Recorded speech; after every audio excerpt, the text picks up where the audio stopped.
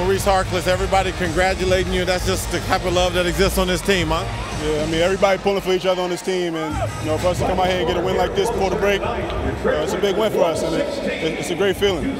19 and 13, a season high for you. You've been in the rotation, out of the rotation. Not only did you stay ready, what was the key to you going for such big numbers tonight?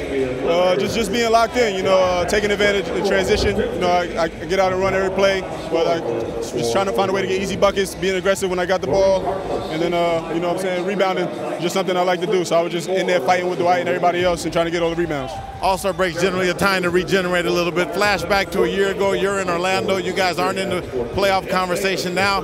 You're right there in the playoff conversation. What a difference a year makes. Uh, you know, it's a huge difference. I mean, now we got to we got to come back after the break and finish strong. You know, uh, we've done a good job so far of just staying staying with it, and I think we've gotten better as the season progressed. So we got to come back, stay locked in, and just and just try to finish strong so we get in that playoffs. Get some rest, but keep the momentum. Yes, sir.